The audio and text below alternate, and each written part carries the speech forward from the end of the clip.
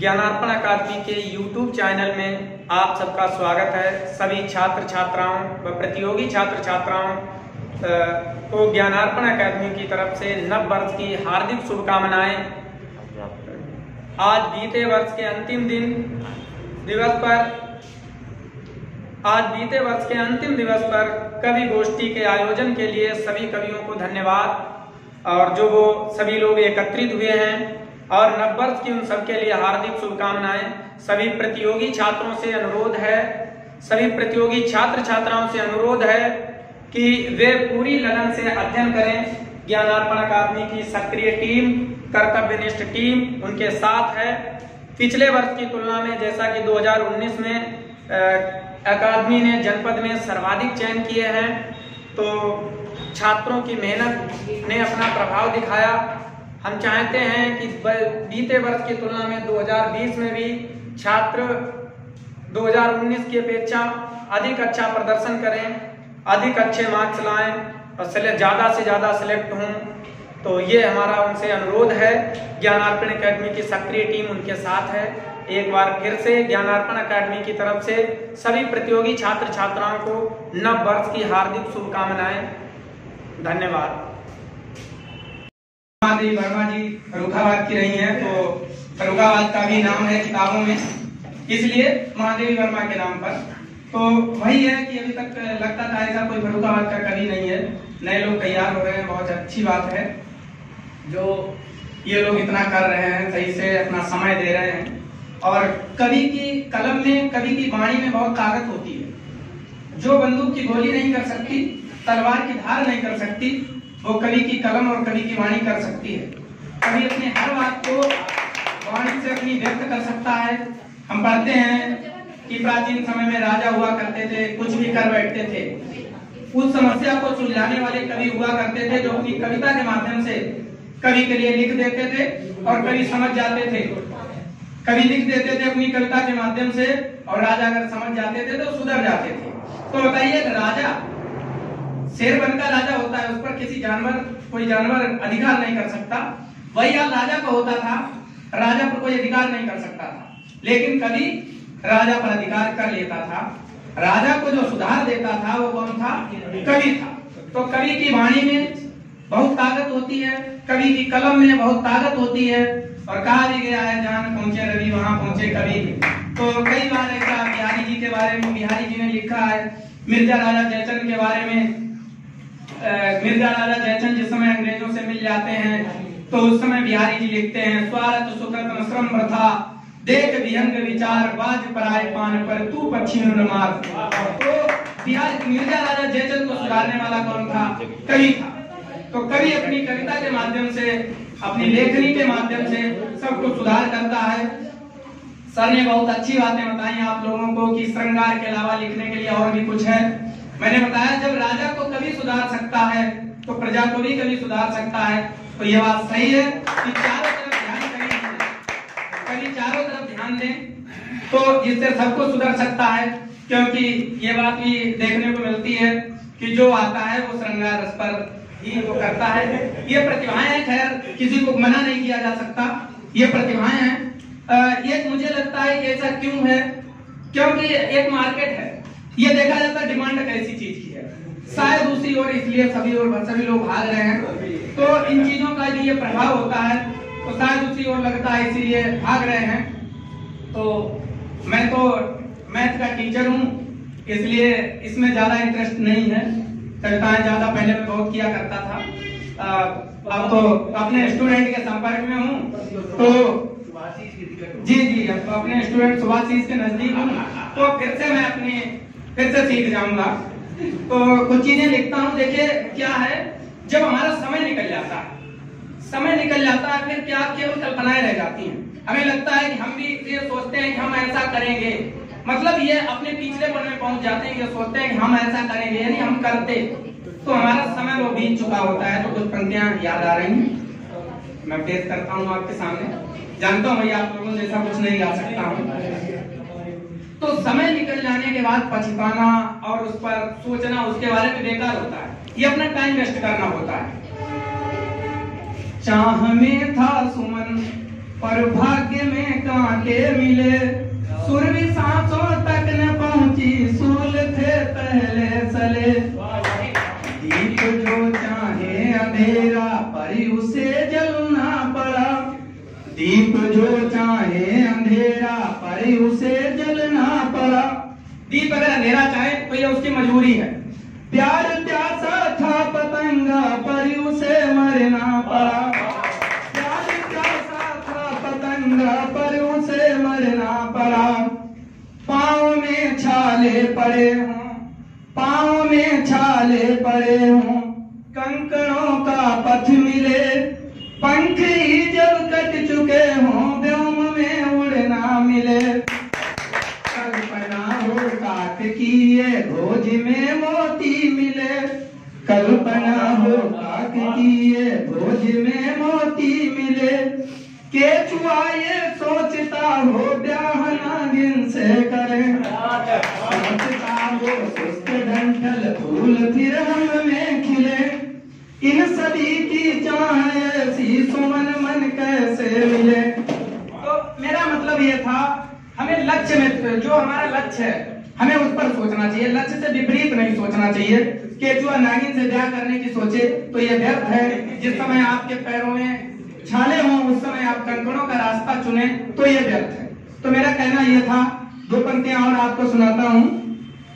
ऐसा है मैंने सुनाते हुए सबको सुना है तो जो आता है वो ज़्यादा व्यंग्य किस पर करता है? महिलाओं पर। सीधे महिलाओं पर बात करता है। अ, पहली चीज़ तो यह है कि शास्त्रों में भी इसका वर्णन वर्णन है, यत्र नार्यस्तु पूजनते रमनते तत्र देवता।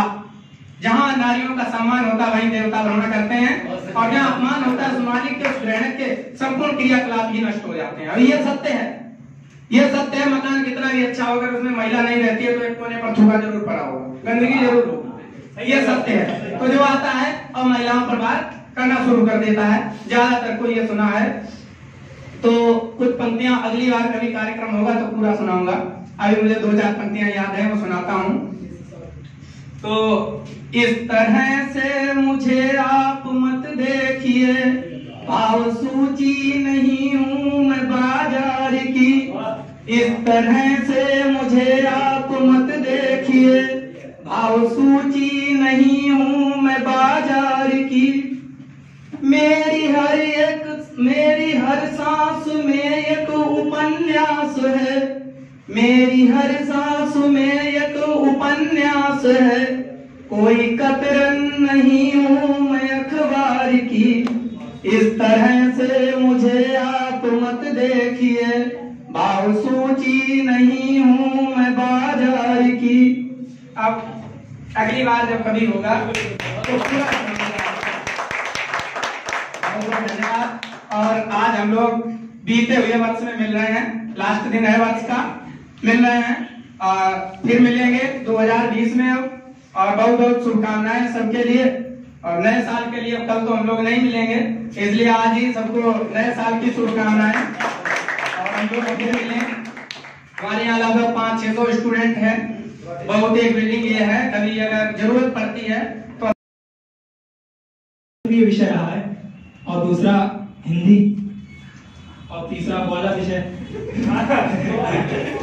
तो, तो तीनों को मिलाने का प्रयास किया है। श्रृंगार को गणित में ढालने का प्रयास किया देखो श्रृंगार को गणित में ढालेंगे तो कैसे ढालेंगे? एक गणित का छात्र कैसे अपने जज्बात प्रकट करेगा? देखना कि चित्त के व्रत की तुम परिधि से गए, चित्त के व्रत की। तुम परिधि से गए, भावना की ये जीवा शिथिल हो गई। चित्त के व्रत की, तुम परिधि से गए, भावना की ये जीवा शिथिल हो गई। सर पर कमी हो बताना। बंद पड़ा है। में शून्य से भाग होने लगा। पीर में शून्य से भाग होने लगा। गणित में नियम होता है, जब किसी संख्या में ज़ीरो से भाग करते हैं तो उसका मान अनंत आता है, ऐसा हमने पढ़ा था। ऐसा तो तब पंक्ति पढ़ रहे हैं कि पीर में शून्य से भाग होने लगा। पीर सागर प्रसारित अनंत एक एकल विरह, एक एकल विरह। दो फिर आ गए ये विरह देवता, फिर सुसत हो गया। योग सहचर, योग का सहचर नियम, पढ़ा सबने। योग सहचर जैसे ही जब जब रहे, तुम हमारे साथ जब जब रहे। योग सहचर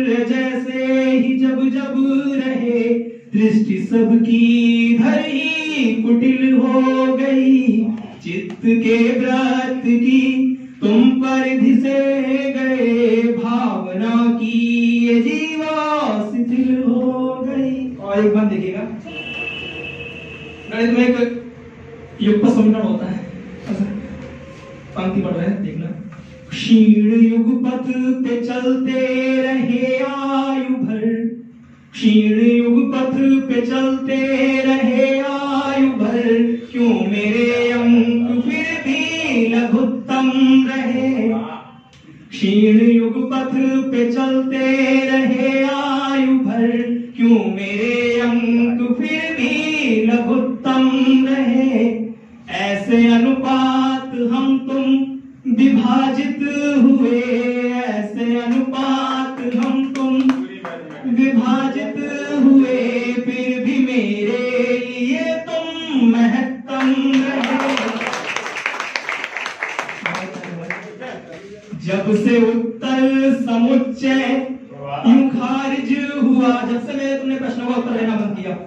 जब से उत्तर समुच्चय, यूँ खारिज हुआ प्रश्न की हर व्यवस्था जटिल हो गई। चित्त के व्रत की तुम परिध से गए, भावना की जीवा शिथिल हो गई। अंतिम इसको समझना आप लोग। अभी तक जाने जाने की बात कर रहे थे, अब आने की बात है। तब जब आया, उनका आगमन होता है तब क्या परिस्थिति होती है। उसको गणित में किस कहा जाएगा कि जब पुनः आए तुम, गणित के विद्यार्थी ध्यान देंगे।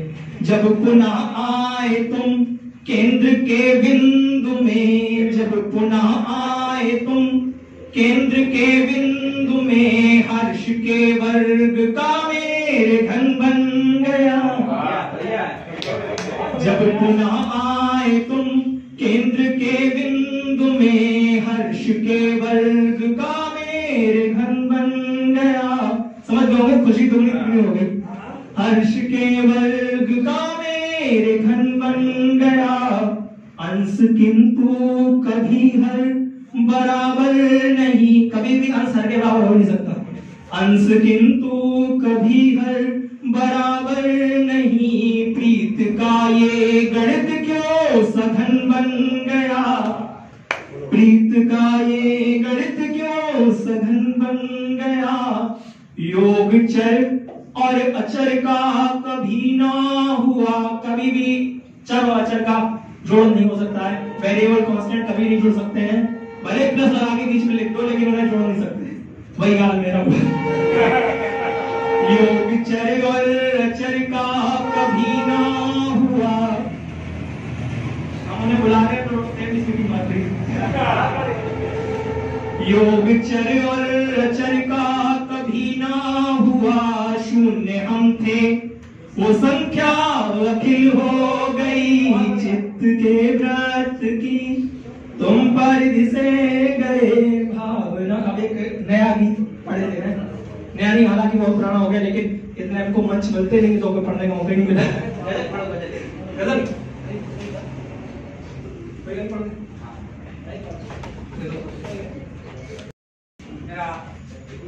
वेलकम अभी इतनी नहीं आ रही फ़िलहाल जो यहाँ पर यहाँ पर अकेडमी में लोग इकट्ठे हुए हैं साहित्य काव्य गोष्ठी के लिए, आपको देख करके कुछ लाइनें कभी मैंने लिखी थी, वो मैं पढ़ता हूँ अभी।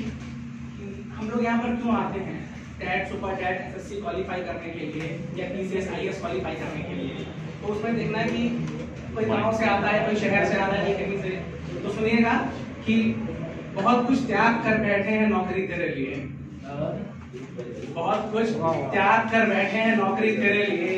रातों को भी जाग कर बैठे हैं नौकरी तेरे लिए। बहुत कुछ त्याग कर बहुत कुछ त्याग कर बैठे हैं नौकरी नौकरी लिए। रातों को भी जाग कर बैठे हैं नौकरी तेरे लिए और भूल गए कुछ रिश्ते निभाने भी हैं हमें। भूल गए कुछ रिश्ते निभाने भी हैं हमें उनसे भी भाग कर बैठे हैं नौकरी तेरे लिए अब एक अब गीत पढ़ता हूँ ना छोटा सा बस।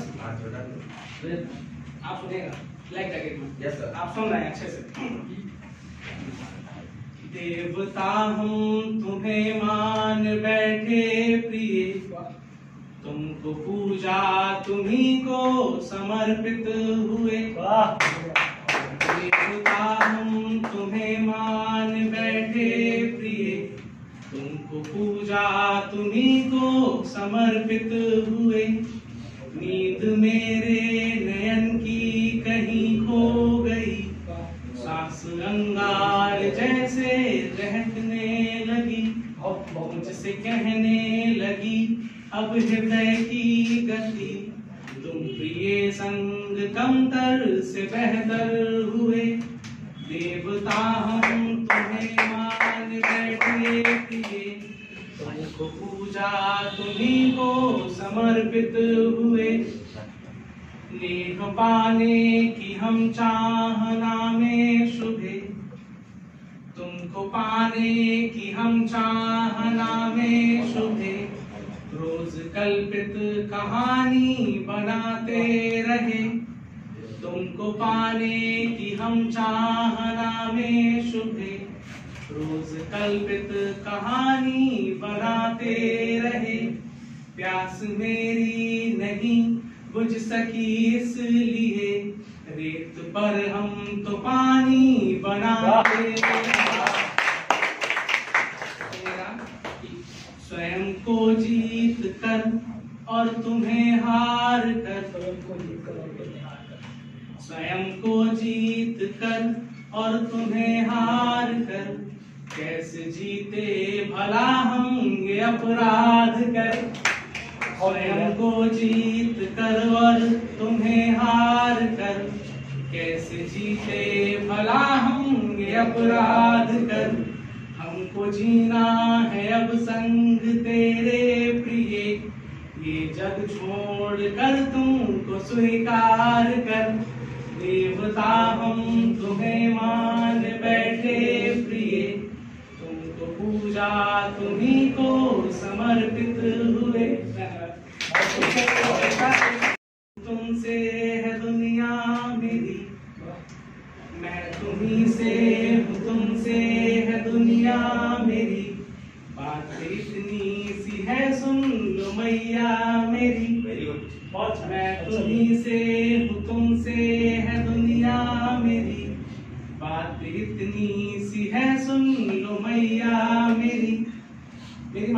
पूनम है।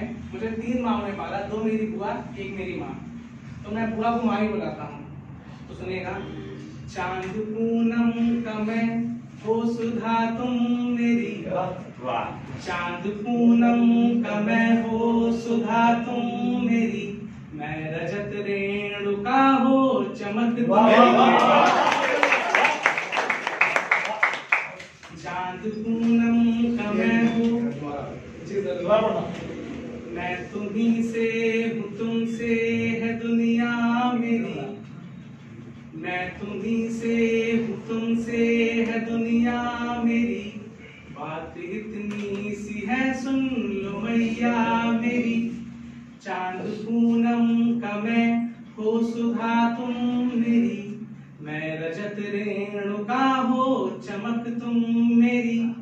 मैं तेरा दृश्य हो अखियाँ मेरी बात इतनी सी है सुन लो मैया मेरी। तो सुनिएगा, तुम कभी प्यार करती, कभी डांटती, तुम कभी रूठती, तुम कभी मानती। मैं भटकती सी नैया, तुम खेवैया मेरी। बात इतनी सी है सुन लो मैया मेरी। नन्हा परिंदा तुम मेरा आसमां। प्यार करता हूँ तुमसे बहुत मेरी माँ मैं हूँ अर्जुन तेरा तुम कन्हैया मेरी बात इतनी सी है सुन लो मैया मेरी धन्यवाद तो मैंने आज कुछ पंक्तियाँ नए साल के लिए भी लिखी हैं जैसा कि विकास भैया ने बताया और कई लोगों के लिए ये साल काफ़ी खराब रहा होगा। अच्छा भी रहा होगा। किंतु मेरी कामना है कि आगे आने वाला साल हर किसी के लिए शुभ हो। पंक्तियाँ प्रस्तुत हैं। बिगड़े हुए हालात सारे, बिगड़े हुए हालात सारे इस बार बदल देंगे। और बदलेगा जो साल, हम अपना हाल बदल देंगे। बदलेगा जो साल हम अपना हाल बदल देंगे। भूलेंगे बीती बातों को, इतिहास बदल देंगे। बदलेगा जो साल हम अपना हाल बदल देंगे। और मेरी क्या कामना है अपने देशवासियों के लिए? जनमानस सुख संपत्ति पाए जनमानस सुख संपत्ति पाए देश उन्नति बरसाए ज्ञान का पावन दीप जले घर घर में उजियारा छाए। अंधियारे का यह राजपाट अंधियारे का यह राजपाट इस बार बदल देंगे। हम अपना हाल बदल देंगे। मंगलमय हो हर दिन शुभ हो शांति की बौछारें आए उल्लास नया ले जोश नया नया